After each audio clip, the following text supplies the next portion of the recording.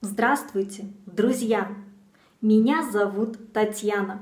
Добро пожаловать на мой канал. И сегодня мы продолжаем говорить о российских, русских праздниках. Следующий праздник – День российского студенчества или Татьянин день. Он отмечается 25 января.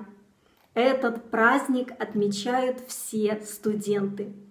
Он совпал с христианским православным праздником, Днем Великомученицы Татьяны, которая погибла за веру и была причислена к числу святых.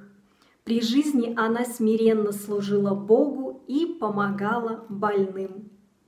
В этот день, 25 января, нужно обязательно поздравить с именинами всех ваших знакомых девушек и женщин с именем Татьяна.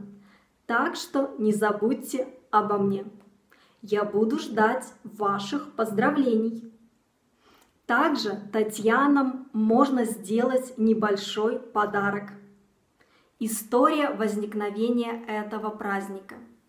В 1755 году 25 января императрица Елизавета подписала указ, благодаря которому в Москве был основан университет. Это было важное решение, имеющее большое значение не только для московских студентов, но и для всей российской науки.